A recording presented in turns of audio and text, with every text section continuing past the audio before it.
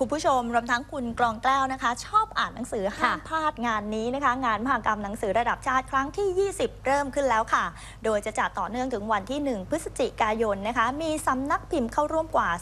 421 สำนักพิมพ์ค่ะ ให้ผู้ที่รักการอ่านเลือกหาหนังสือดีๆ มีคุณภาพค่ะพลเอกดาพงษ์รัตนสุวรรณรัฐมนตรีว่าการกระทรวงศึกษาธิการ เปิดมหกรรมหนังสือระดับชาติครั้งที่ 20 Book Expo Thailand 2015 ภายใต้แนวคิดวาดเพื่อส่งเสริมให้เด็กเยาวชนและประชาชน สนใจการอ่านหนังสือ พร้อมจัดแสดงและจำหน่ายหนังสือระดับชาติ โดยปีนี้ถือเป็นปีแรกของกิจกรรม คึกคักนักวาดและต่อเส้นเติมชีวิตการ์ตูนไทย รัฐมนตรีว่าการกระทรวงศึกษาธิการกล่าวว่า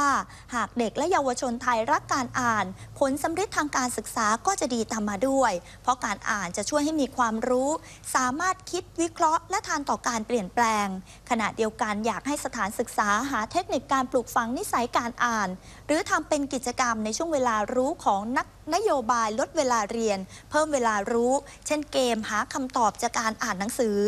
นอกจากนี้ภายในงานยังมีนิทรรศการและกิจกรรมส่งเสริมการเรียนรู้ อาทินิทรรศการการ์ตูนไทยตายแล้ว นิทรรศการบทกวีเพื่อจัดประมูล จากศิลปะระดับจากศิลปินระดับชาติ นิทรรศการย้อนตำนานสตรีสาร 100 ปี รวมถึงการจัดอบรมทั้งวิชาการและวิชาชีพกว่า 50 รายการค่ะ